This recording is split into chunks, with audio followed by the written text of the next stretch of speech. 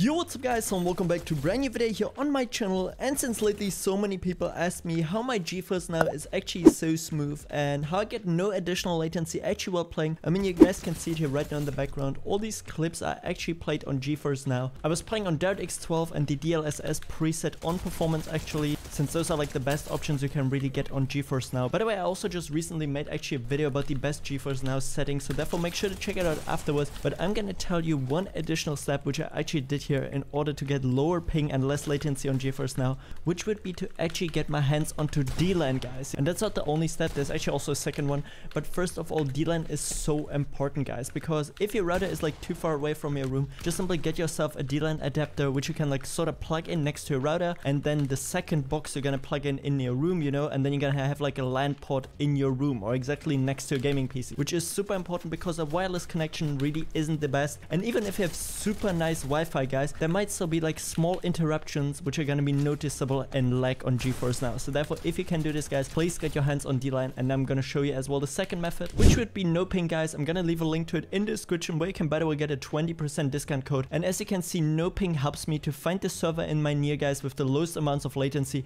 You can see right now Frankfurt 09 is actually the lowest one for me. Other than that, Fortnite might accidentally maybe connect me to the Netherlands 02 where I would have already 17 ping or here 25, you know. You can just simply find in your near actually the server with the least amount of latency.